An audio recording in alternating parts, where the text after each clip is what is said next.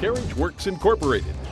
Established in 1981, Carriage Works Incorporated utilizes state of the art technology to manufacture high quality billet grills, billet accessories, truck accessories, and many other customized parts for all trucks.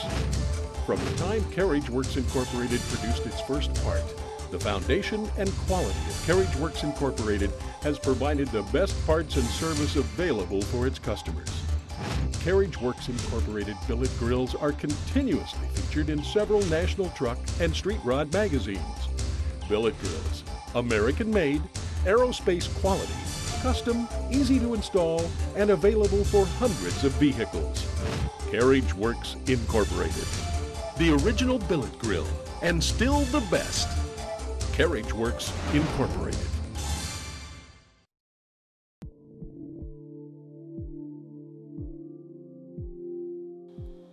Welcome to the install for 2007 Tahoe.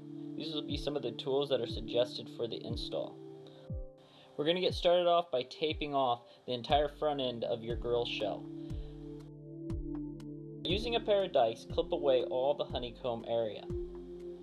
By doing this first, you save yourself from cutting away too much, because you can always remove more, yet you cannot replace what you have cut away.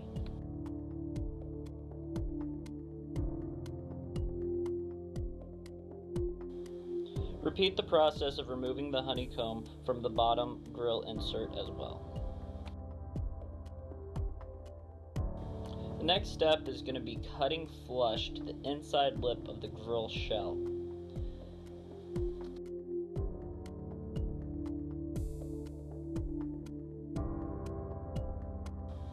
If you have access to an air cutoff saw or a similar tool, it is okay to use this in place of the hacksaw at any time.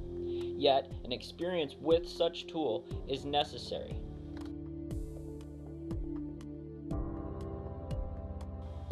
Next, by sanding flush and removing any major burrs from your opening, this ensures that your billet grill will install smoothly.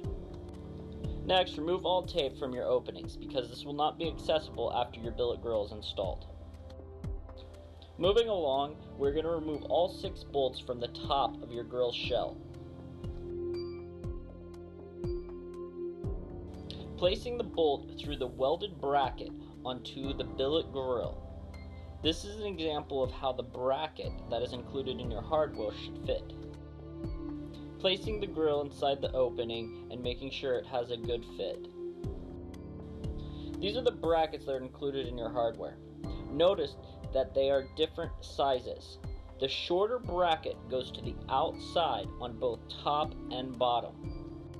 Now, we simply place the bracket onto the bolt that is already through the billet grill. Then we will place the nut on after that.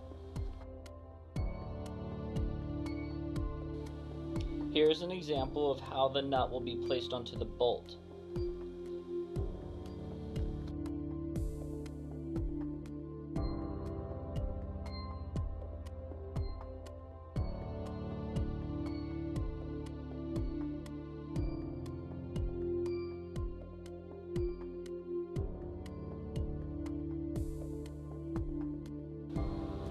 Now simply tighten the bracket so that it is snug against the grill shell.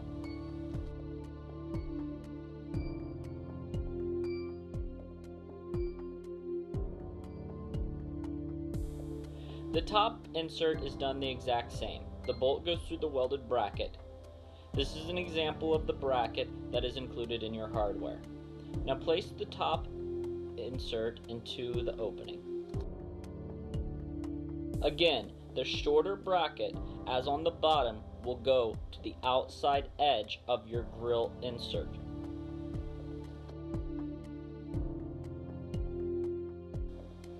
After the brackets are placed, we again will start by putting the nut onto the bolt and tightening the bracket onto the grill shell.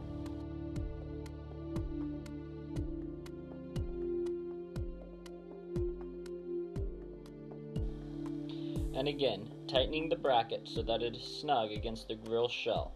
This ensures that it has a nice fit.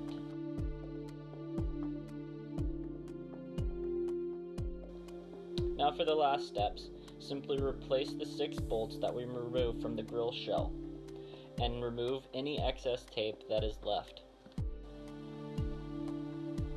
Now it's time to enjoy your new custom grill.